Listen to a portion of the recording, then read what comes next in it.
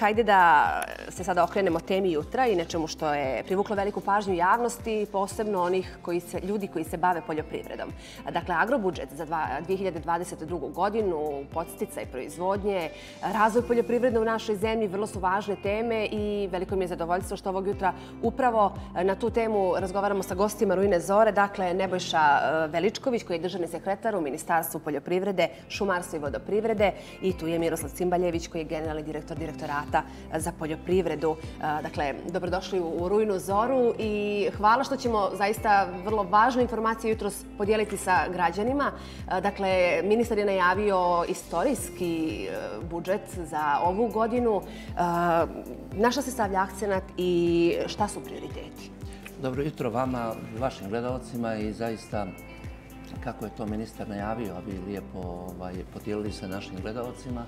Ove godine budžet je e, projektovan na iznos 43 miliona, znači 43,1 miliona evra i predstavlja najveći budžet Crne Gore za poljoprivredne proizvođače. Dakle, ovaj budžet odnosi koji se odnosi na nacionalna sredstva koja se zvaju iz nacionalnih, iz nacionalnih izvora je za 34% veći nego u odnosu na 2021. godinu 48% veći u odnosu na 2020. godinu. To dovoljno govori sa koliko smo pažnje pristupili samom projektovanju budžeta, mjerama u okviru budžeta i vjerujem da će to biti budžet gdje će najveći dio naših poljoprivrednih proizvođača naći sebe u svemu tome i naći svoj interes, odnosno ostvariti premije i subvencije. Ako imamo u vidu ono što smo radili u protekloj 21. godini, gdje smo kroz agrobudžet, bez obzira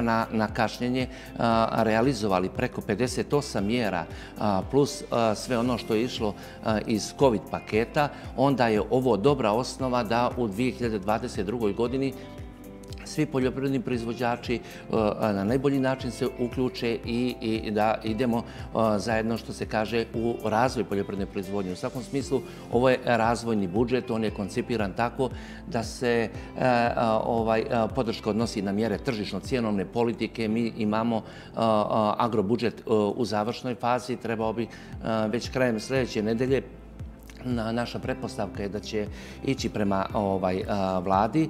Znači, to su mjere tržično-cijenovne politike, to su mjere jako važne ruralnog razvoja, mjere za ribarstvo, za vodoprivredu. Ako tome dodamo, i sredstva koja se odnose na IPART programe. Mhm. Mi e, bili ste sigurno u prilici naši poljoprivredni proizvođači da isprate događaj sa Cetinja gdje je najavljeno raspisivanje e, javnog poziva za mjeru 1 i mjeru 3, znači investicije u fizički kapital i u preradu. Sve to, ajde da kažem, dobra, zaista dobra poruka prema poljoprivrednim proizvođačima da isprate sve naše aktivnosti nakon objavljivanja agrobudžeta i javnih poziva koje ćemo ovaj, u što kraćem roku raspisati, da apliciraju, da ulažu investicije i da ovaj, na jedan još značajniji način pomognemo ovaj sektor. Dakle, toliko je toga u najavi, toliko će toga biti realizovano da sigurno da ljudi koji se bave poljoprivredom uh, jesu zadovoljni u ovom trenutku i očekivanja su im velika. Da li postoji neka oblast, neki sektor poljoprivrede uh, koji, na koji je stavljen akcenat ili prosto je sve jednako važno u ovom trenutku? Evo, ja ću se uključiti. Znači, kao što je Nebojša rekao, ove godine smo sa velikom pažnjom pristupili eh, izradi agrobudžeta. Ono što je vrlo bitno da smo imali jako veliki broj sastanaka sa poljoprivrednim proizvodjačima, dobili smo jako puno predloga i prilikom izrade ovogodišnjeg agrobudžeta e, sve segmenti i sve oblasti smo sagledali sa e, jednom posebnom pažnjom i stavili smo fokus na sve oblasti. Ono što bih istakao ovom prilikom je kreiranje mjera agrarne politike u dijelu e, stočarstva gdje smo imali jako puno problema prošle godine iz razloga što je bila godina sušna i što smo imali e, jako veliki broj skokova cijena inputa i poljoprivredna proizvodnja u stočarskom sektoru je bila otežana. Ono što naše poljoprivredne proizvođače, siguran sam, e, najviše interesu u ovom trenutku je iznosi podrške po mjerama, pa bi ukratko eh, možda iskoristio priliku da im da kažem da kada su u pitanju direktna plaćanja u stočarskoj proizvodnji, u govedarskoj proizvodnji, premije ove godine će biti povećane e, nekih 10 eura po grlu sa 75 na 80 eura. U ovčarstvu i kozarstvu to će biti nekih 10%, odnosno sa 9 na 10 eura.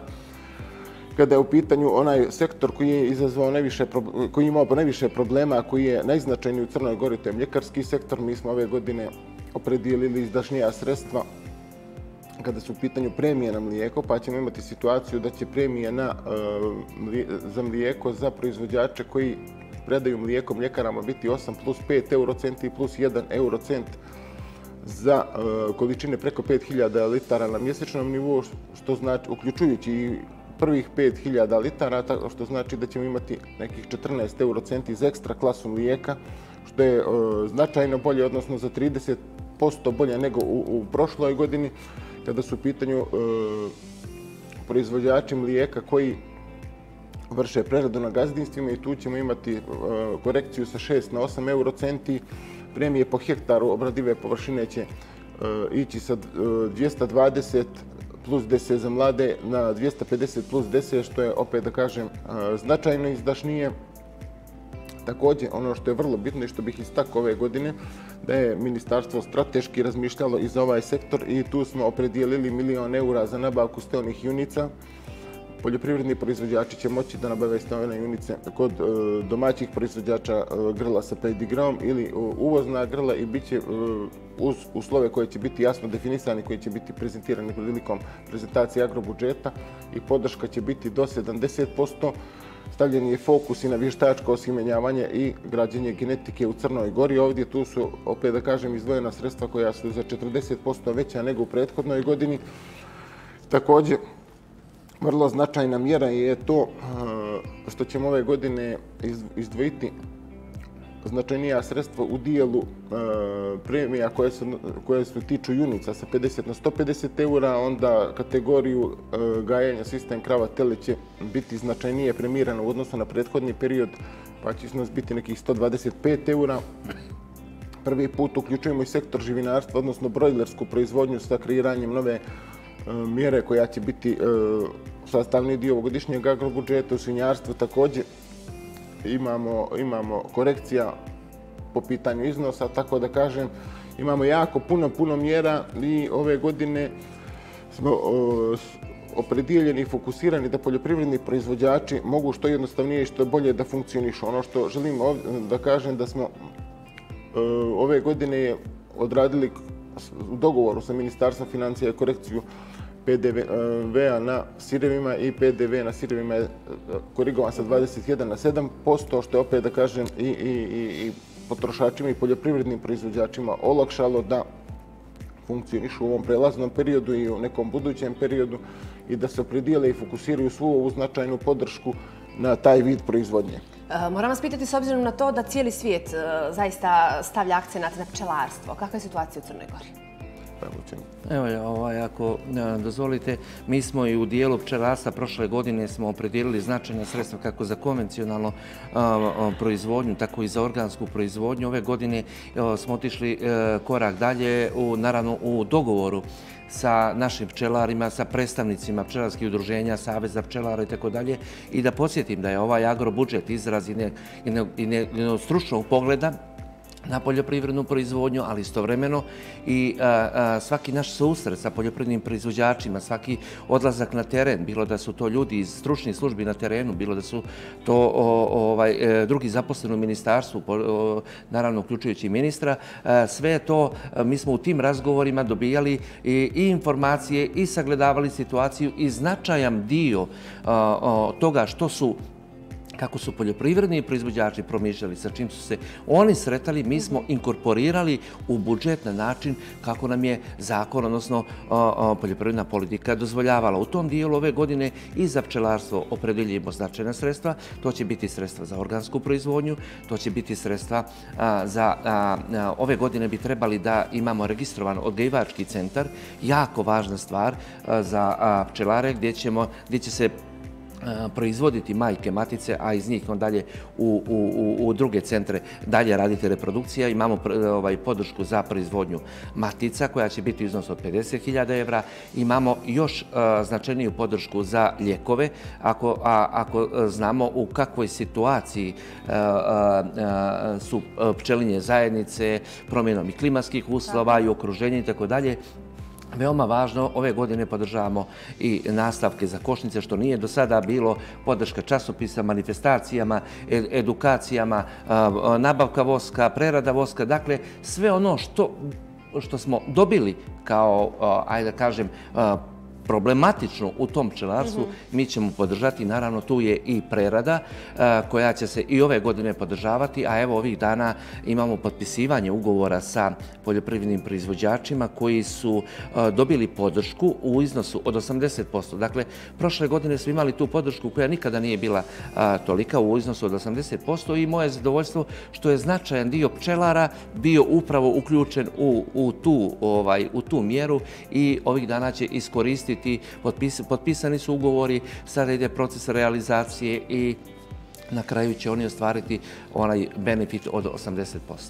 Dakle, mjere koje su mjere podrške, ali i podsticajnog karaktera. Mislite li da, da su dovoljno podsticajne da se mladi ljudi malo više okrenu u poljoprivredi? Ako uzmemo u obzir sve kapacitete Crne Gore, a i dobru volju države u stvari. Evo da kažem da najveći dio mjera u agrobudžetu ima E, segment koji je izdašniji u dijelu e, procentualnog učešća podrške kada su u pitanju žene i mladi poljoprivredni proizvodjači. Također, istakao bi da u okviru agrobudžeta imamo mjere za mlade ovaj, koja će ove godine opet da kažem biti izdašnija nego prethodne godine. Taj iznos podrške će biti do 15.000 eura za ljude koji će se vratiti na selu, koji će početi da se bave poljoprivrednom proizvodnjom ili oni koji su već na selu e, imaju uslove ili planiraju da se bave poljoprivrednom proizvodnjom i ticat će se adaptacije prostora, nabavke sadnog materijala za, za, za, za snimanje voćnjaka, nabavku grla, tako da prosto imamo mjeru koja će pomoći poljoprivrednim proizvođačima da počnu, odnosno da se vrate da žive na selu. Ono što bih posebno istakao što je vrlo bitno je da ove godine imamo bezmalo 3 miliona eura opredijeljeno za infrastrukturu a to se tiče putne i vodne infrastrukture. Složit ćete se da nije moguće se baviti poljoprivrednom proizvodnjom bez adekvatnih puteva, vodosnadbijevanja i svih ostalih pratećih e, prateće infrastrukture. Tako da ovaj iznos je u ovoj godini e, preko 30% veći nego u prethodu, je značajno veći nego prethodnih godina. Tako da je bio poseban fokus na izradu putne i vodne infrastrukture, a ova mjera će iz godine u godini ići sa izdašnijom podrškom, sve u cilju da naša sela izgledaju kao što izgledaju sela u, u, u zemljama Evropske unije. To je prosto, mm, fo, bit će fokus i težit ćemo da ljudima koji se bave poljoprivredom na selu obezbijedimo adekvatne uslove za bavljanje poljoprivredom. To nas odmah navodi na temu koja je ruralni turizam u stvari u Crnoj Gori i to je neizbježno povezati poljoprivredu i sve mogućnosti koje može da ponudi jedno gazdinstvo na selu ljudima koji su znatiženi i koji vole našu kulturu i tradiciju. Kako agro budžet u ovoj godini tretira eh, razvoj ruralnog turizma? Pa upravo kao što ste kazali, sa posebnom pažnjom vodili smo i vodimo računa o tom dijelu povezanosti poljoprivrede, turizma, takozvani ruralni turizam i tokom prošle godine Ministarstvo poljoprivrede je raspisalo prvi javni poziv za ruralni turizam i želim da podijelim to sa vašim gledovacima da smo imali 102 aplikanta dakle, koji su se prijavili za sredstva u iznosu preko 6 miliona evra. To su i par sredstva gdje je učešće e, evropskih sredstava i nacionalnih sredstava, te u tom dijelu sada je u toku proces administrativne kontrole i vjerujem da će najveći broj njih ostvariti, ostvariti pravo za podršku. Upravo intencija Ministarstva poljoprivrede jeste da smo mi na terenu prepoznali da naši poljoprivredni proizvođači u ruralnim područjima imaju želju, imaju namjeru, vide svoje sebe u povezanosti poljoprivrede i turizma, te u tom dijelu mi e, ćemo dalje podržavati, to ćemo podržavati kako primarnu proizvodnju, mhm tako ćemo podržavati i, i preradu. A onda za neke ozbiljnije projekte tu, je, tu su i par sredstva i zaista jedna dobra prilika da u ovoj godini imamo značajniji broj e, poljoprivrednih proizvođača koji će početi da se bave i ruralnim turizmom. Dakle, preko 40 miliona agrobudžeta kada je riječ o našoj zemlji. A šta se dešava sa projektima, odnosno fondovima Evropske unije? Eto, kratko imamo još toliko vremena. E, koliko se mogu nadati poljoprivrednici ove godine da će moći da, da, da na taj način e, uh, obezbede sebi neku mogućnost više. Da, u svakom slučaju, znači mi imamo kroz prvenstveno i par, i par projekata i par sredstva, imamo mogućnost i najavljeno je da će 14. februara e, ići javni poziv za, mjere, za mjeru 3, da 14. marta ide poziv za mjeru 1. To, su, to je podrška za primarnu poljoprivrednu proizvodnju, za preradu, da ćemo tokom godine ići ići i na, i na druge pozive i druge mjere. U svakom slučaju, uh, jedan otvoreni poziv uh, poljoprivrednim proizvođačima da, se, da budu u kontaktu sa Ministarstvom poljoprivrede, s na, našim stručnim službama. Uh, postoje značajna sredstva, mi ćemo ta sredstva, naša namjera, naša želja je da ta sredstva maksimalno iskoristimo. U tom pravcu smo e, početkom decembra predali i prvu draft verziju i par tri programa Znamo da smo godinama kasnili vezano za povlačenje sredstava iz IPAR 2 programa. Vjerujem da ćemo sa kreiranjem, odnosno prihvatanjem IPAR 3 programa još značajnije koristiti ta sredstva. Sredstva postoje, sredstva su opredijeljena, ostaje onaj, onaj dio dakle, da poljoprivredni proizvođači pokažu svoju aktivnost, a naravno ministarstvo u okviru onih